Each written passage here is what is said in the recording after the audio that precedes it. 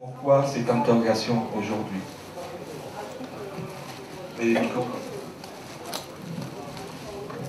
Toutes les enquêtes montrent euh, d'opinion que en France, euh, les journalistes ont une très mauvaise image.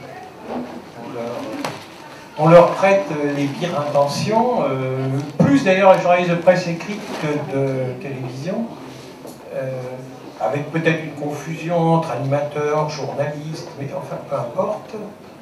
Et euh, donc l'idée était d'interroger trois, euh, trois, journalistes, euh, Jean-François Kahn, Louis Plenel et Serge Julie, qui ont beaucoup de points communs. Quelque part sont des créateurs, quelque part sont des références, quelque part sont des gens que j'aime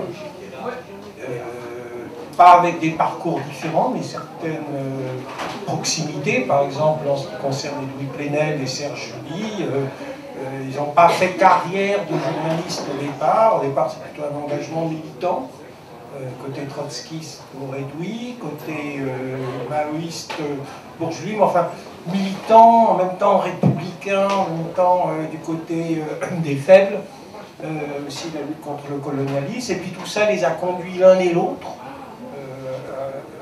écrire d'abord dans des journaux militants, et puis euh, l'un et l'autre, l'un a créé un journal, euh, l'autre est rentré au monde, c'est Louis Plenel, et puis ensuite Louis Plenel a impulsé quelque chose d'extrêmement important au monde, qui était le journaliste d'enquête, qui a complètement bousculé les mœurs euh, de ce quotidien, peut-être les mœurs des journaux en général.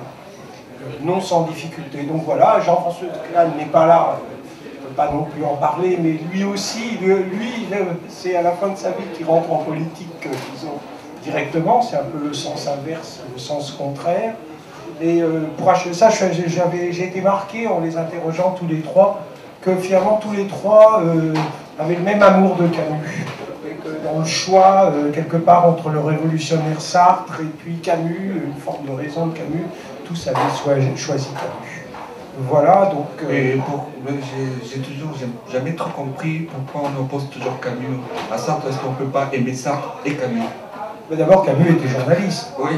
Ça fait une immense différence. Je ne pense pas que si Sartre a écrit quelques articles quand il était à Cuba, on peut difficilement dire que c'est du journalisme.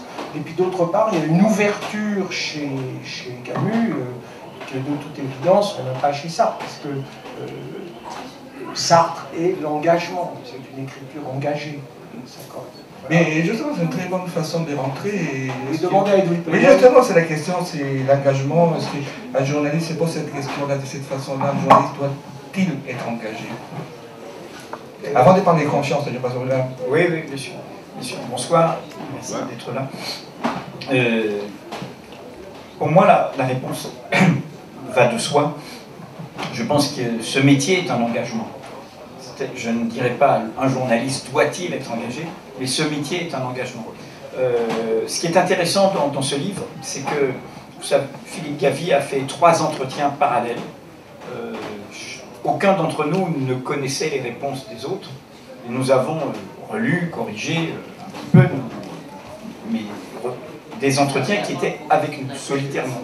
Donc le dialogue, le trilogue entre ces trois personnes, avec c'est vous qui le faites, c'est le lecteur qui le fait, qui voit les points communs, qui voit les points de, dissonance. Et du coup, ça fait un livre assez ouvert qui, ne clôt pas le sujet et qui vous permet vous-même de, le prolonger. Euh, le point commun, euh, c'est que je crois que Jean-François Kahn a un peu plus de 71 ou 72 ans. Je crois que Serge a entre 65 et 70. Et moi, j'ai 57. Euh, et ce qui est intéressant, c'est que dans cette petite différence, qui est autour d'une quinzaine d'années, donc ce qui veut dire que Jean-François Kahn est entré en journalisme à la fin des années 50, en pleine guerre d'Algérie, ce qui veut dire que Serge Julie a découvert la question du journalisme dans le militantisme étudiant de la fin des années 60, euh, et que moi je suis rentré dans les années 70. Et en même temps, euh, alors que toutes ces époques sont différentes, ces trois décennies différentes, on s'aperçoit, et c'est là quand on parle de génération, que souvent les générations couvrent un champ plus large que la biologie ou les âges. C'est ce qu'il y a en commun dans nos différences évidemment et dans nos sensibilités différentes. Euh, ce qu'il y a en commun, c'est que tous les trois, nous sommes entrés en journalisme dans une curiosité, et c'est la réponse à votre question, un engagement pour la chose publique, comme étant concerné par la chose publique. Et je crois que ce n'est pas quelque chose de marginal, je pense que c'est au cœur. Je pense, c'est tout le message du livre, je crois, c'est que dans un moment où la démocratie a des difficultés parfois, dans un moment où le journalisme est contesté, évidemment, dans le moment où on vit une crise euh, à tout point de vue, euh, économique, social, moral, etc., euh, je pense que le journalisme n'a d'autre légitimité que l'enjeu démocratique, que la construction d'un espace public commun. le journaliste est au service de cela. Alors après, il y a le talent, il y a les individus. Mais c'est pour ça que quand on me dit, par exemple, vous prenez un journalisme acteur et pas spectateur. Je dis non, on est forcément acteur si on fait notre métier. Parce que si on est uniquement sur le bord de la route, ça veut dire qu'en clair, on n'apporte jamais une information dérangeante. On n'apporte jamais une information qui va faire bouger. Prenez un exemple tout récent. Euh, samedi, euh, le journal que, j'ai fondé avec quelques amis, le journal en ligne Mediapart, a publié euh, en exclusivité ce qui n'était pas un gros scoop parce que ça allait sortir, mais nous avons été les premiers à le sortir, accompagné d'une enquête complémentaire avec des photos. Le bilan financier désastreux de la présidence européenne de notre président, il y a un an de cela. Euh, un million d'euros dépensés par jour, euh, un banquet faramineux, des salons présidentiels, etc.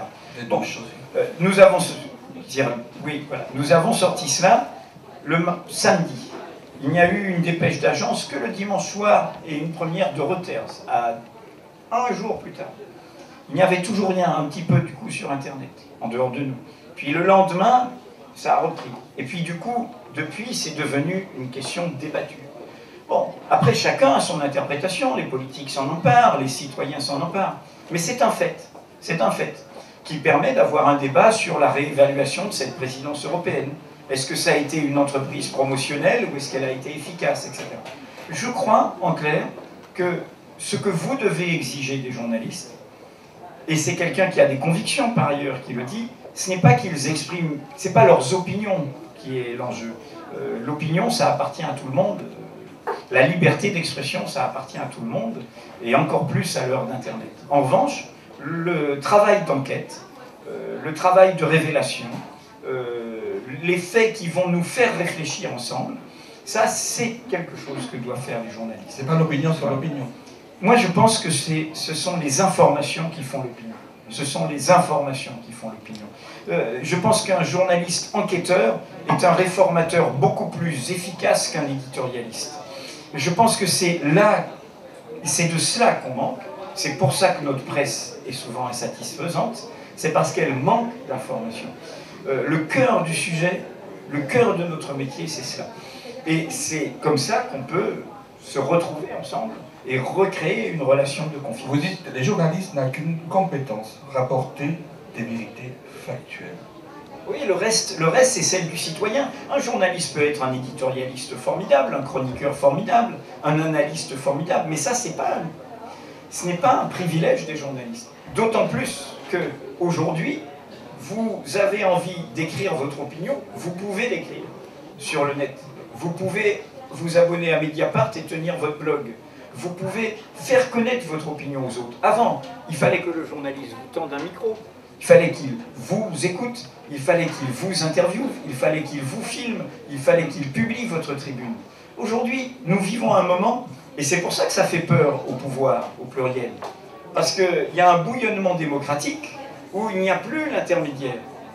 Nous l'avons vécu entre nous au moment du référendum européen. Ce n'est plus les mêmes médiateurs alors, les journalistes. Le journaliste est un. Si, parce que il est garant d'une certaine qualité du débat public, par la qualité de ses informations, par la qualité de son média.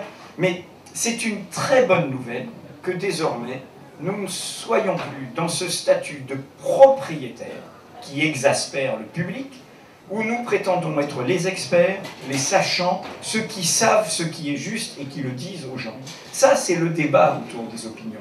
En revanche, nous faisons déjà notre travail. Regardez la crise financière, regardez l'opacité du monde financier, regardez la complexité des questions internationales.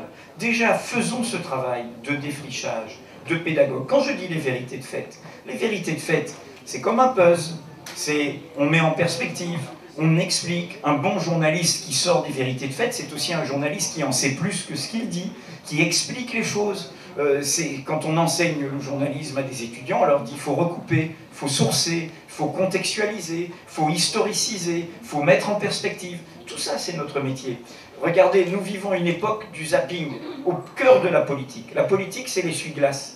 C'est faire oublier à tel point que nous avons un président qui a lu un formidable discours aux, agriculteurs euh, mardi, euh, sans s'apercevoir qu'il avait lu le même il y a huit mois et en commençant avec la phrase exacte qui est dans le discours qu'il a lu déjà aux agriculteurs le 10 février, je vais vous tenir un discours qu'on ne vous a jamais tenu. Et il répète le même discours, au-delà du problème quand même inquiétant sur le fonctionnement du personnage ou de l'Élysée, je n'en sais rien. Euh, néanmoins, vous voyez bien que, que c'est un zapping qui fonctionne à l'oubli, qui fonctionne à l'absence de mémoire. Donc, mais pardonnez-moi, ça signifie aussi que la presse, ça marche quand même si quelqu'un a pu repérer qu'il a fait deux fois le même discours. Mais je, ne dis pas que ça marche pas la presse. Je dis, je dis, gens qui je, moi, je, je n'ai pas du tout tenu un discours, je crois, pessimiste. Je dis qu'il.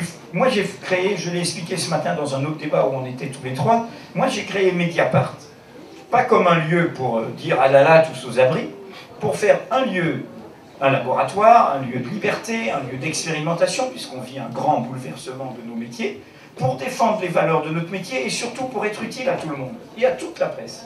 Je pense que dans ce métier, comme dans tout métier, ça marche à l'exemple. Puis il y aura de gens qui montreront leur indépendance, qui montreront leur audace, qui euh, n'auront pas peur du débat avec les lecteurs, mieux ça fera sortir le journalisme d'une certaine torpeur. C'est ce qui se passe actuellement. Et on le voit, c'est pour ça que euh, ce pouvoir qui a tant vécu sur les médias s'en inquiète aujourd'hui.